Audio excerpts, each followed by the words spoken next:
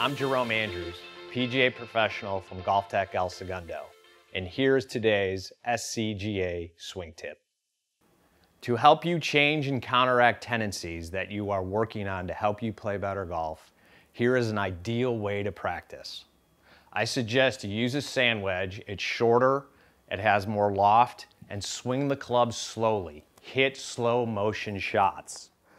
For instance, if you are working on the start of the swing and you're working on hinging your wrist earlier to start the swing, by swinging the club more slow motion, it will help you feel where the motion comes from more ideally to help you change as quickly as possible.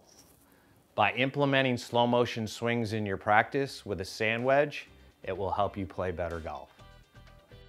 Thanks for joining us. I'm Jerome Andrews, and stay tuned for another SCGA swing tip.